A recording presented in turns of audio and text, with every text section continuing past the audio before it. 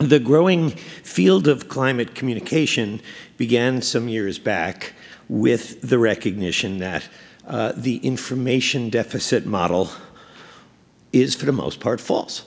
And that, um, so what's the information deficit model?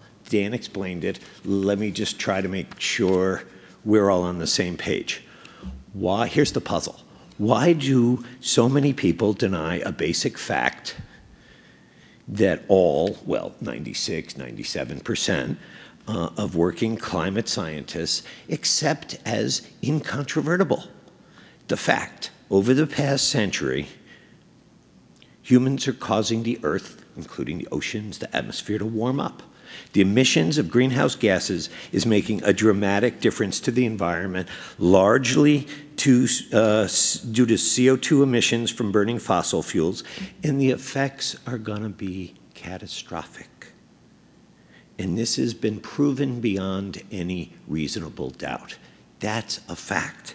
So the, just to be painfully clear, the, the information deficit model uh, is the idea that, well, if people only knew the facts and maybe a little bit of climate science, they'd recognize that humans are causing global warming and begin to argue about what, if anything, we ought to be doing about uh, mitigating and uh, adapting to anthropogenic global warming, not whether the National Academies of Science and every other scientific organization representing reputable scientists on Earth uh, should be trusted, right? Um, yet here we are. So um, I'm not calling that irrationality in the same kind of way. That, that's, so uh, the field of, of, climate communication became interesting when, when Dan, others uh, noticed that, that this information deficit model was just wrong. Uh, as it turns out, scientists can at times be really good at talking to other scientists. But with regard to informing and changing the beliefs of most people who are undecided about or deny what almost all scientists believe, even the best scientists, journalists, and teachers, uh, well, they've been the ones that helped to prove that the information deficit model is wrong, right? Um, we stink collectively. Uh, and provi providing missing information just doesn't change belief. Now, even if uh, John Krosnick's left, but we talked a bit last night after his thing, even if the uh, data that he presented yesterday is true, that doesn't change this. See, that's just a matter of how, um, uh, how, whether it applies to more or fewer people in that way. The one piece that um, uh, Dan's going to crunch some numbers for me on is he asked two questions, for those of you who remember um, uh, is the Earth probably warming or not, and uh, are, are humans the cause, if it is, right? And, you know, you, polling, you gotta like not do double-barreled questions and so on, but the fact is some combination of those two, right? It's a conjunction. It's that humans are causing global warming. And uh, the 80% that Dan got to the hypothetical question, if it's being caused, it's going to be slightly lower numbers when he goes back and crunches this data. For those who said, yes, the Earth is warming, and also said, if it's warming, then humans caused it, that number is going to be lower, of course, than the 80%, but it's still the same problem, right? Now, Dan also suggested that maybe the problem is with politicians and not the public. Uh, I'm sorry, um, uh, John suggested that, that um, uh, it may be with politicians and not the public. But I think when you look at those new numbers, there's a still a really big gap between um, uh, public views of these things and, and what the facts are, what, what's quite known. So uh, I'm not a cognitive psychologist or a communication specialist. Uh, and my expertise, if I have any on this topic, is in academic philosophy and education. Uh, I've taught logic and critical thinking and ethics and philosophy of science and environmental ethics, mostly to college students, but also to uh, K through 12 settings and, and professional development settings for 30 something years. Uh, one of the projects that um, uh, was mentioned is um, that I, I, helped design and run was called Reading and Writing for Critical Thinking. And it's um, still going on in 35 or 40 countries, and it um, it's reached a couple of hundred thousand teachers and a couple of million students, and we've had outside assessments um, by, you know, really good groups, and there are things you never hear in education, improvement projects. People couldn't believe it when it was presented at uh, AERA because there were statistically significant results, you know, which you kind of never really get. And I mention this because I have some experience in reasoning about moral and policy issues with people who don't share the same values uh, across other cultures uh, and within ours. And um, in, in my experience, I've failed in pretty much every way you can. Um, the um, failures are comical. I try to learn from them. Uh, they're frustrating. Um, but part of what the failures come from is that philosophers, like the scientists, operate with an analog to the information deficit model, which I'm, I'm beginning to rethink. So I, I, appreciate your help in helping me rethink this.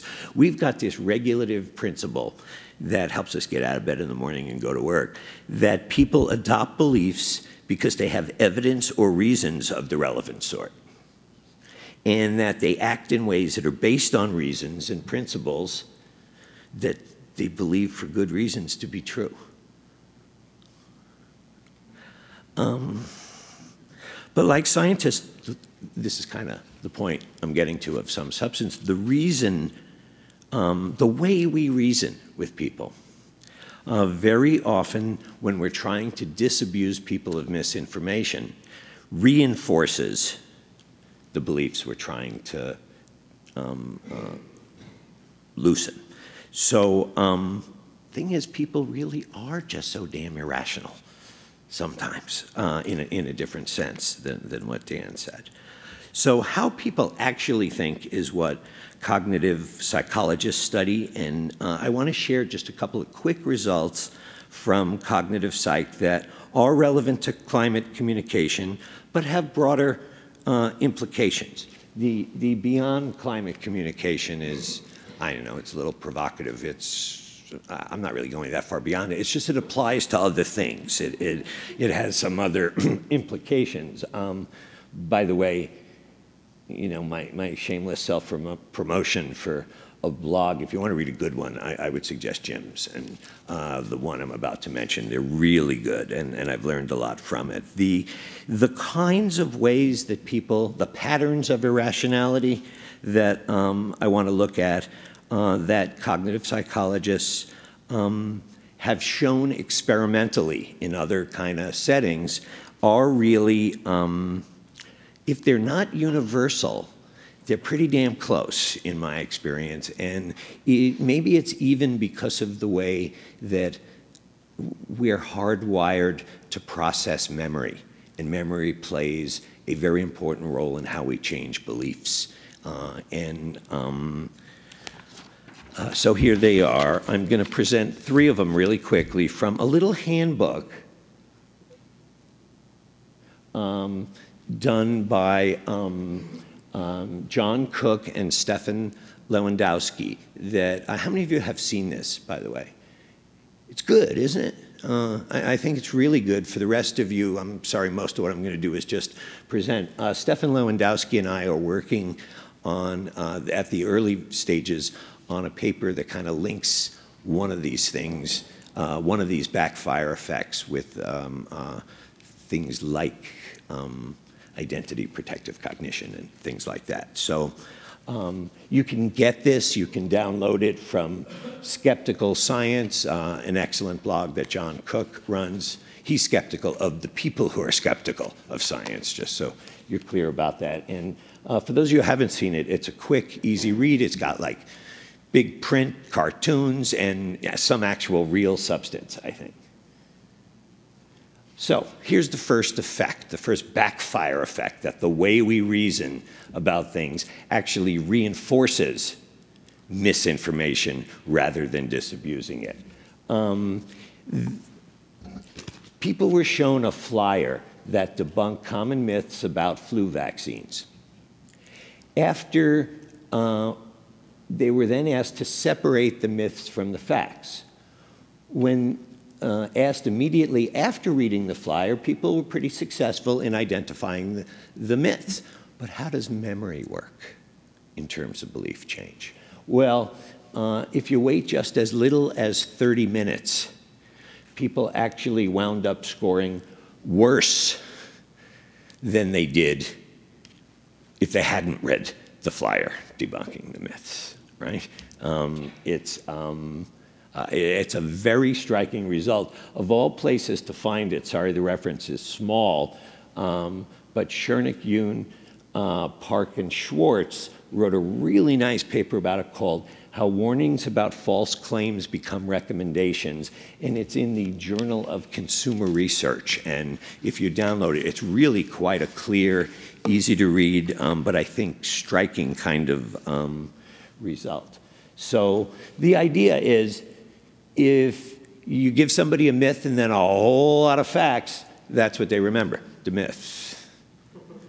Okay? Um, the best approach here is just to focus, uh, I think, in the repetition that, that Jim was talking about, focus on the facts you wish to communicate.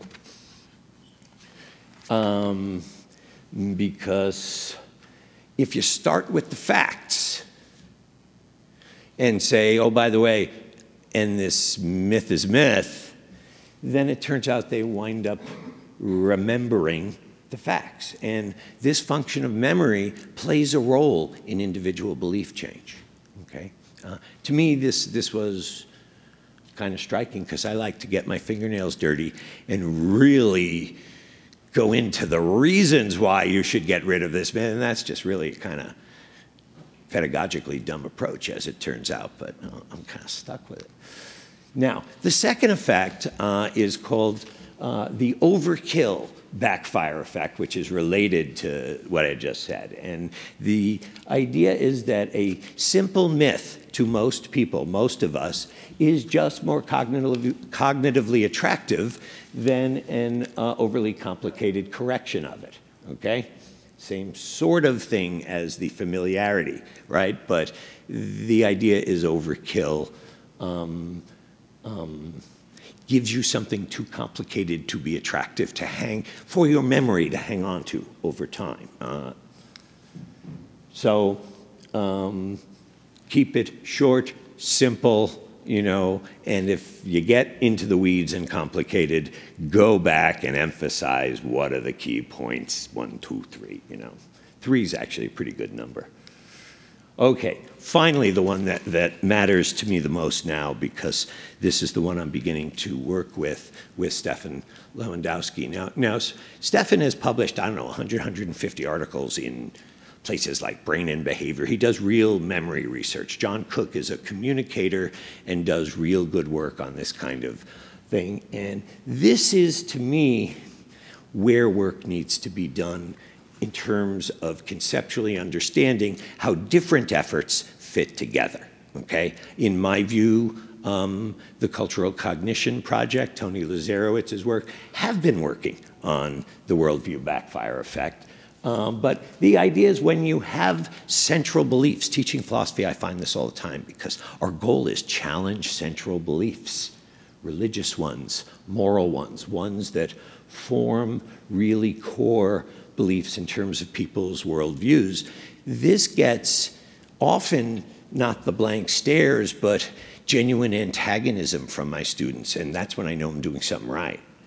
But the genuine antagonism, how often is it followed by really reevaluating those kinds of things. So if you're strongly fixed, as we all are in certain views, figuring out what they are is the key, encountering counter arguments causes us to kind of marshal our forces like, you know, an army of white blood cells to um, uh, defend against them. Uh, now, this got demonstrated well. I'm running out of time, so you can, you can read it elsewhere. But um, uh, Steve Lewandowsky demonstrated this with a really neat little experiment about uh, Saddam Hussein being linked to the 9 11 terrorist attacks, providing evidence there wasn't any link between the two. It included a quote uh, directly from then President Bush. Only 2% of participants changed their mind after that. And um, uh, although interestingly, 14% denied they had ever believed the link in the first place. Um, vast majority clung to the link between Iraq and 9-11, which I don't think existed, uh, and they employed an incredibly creative range of arguments to um, uh, defend that. And this, there is a very nice reference in um, uh, a volume down below that you can find uh, to that experiment. So when debunking a myth, this is Stephan's work. I'm going to go really fast now. Uh, the idea is since you're creating a gap in someone's mind, fill the gap with something else, right? Uh, is the point, right? If you're removing a myth, replace it with an alternative narrative. Okay?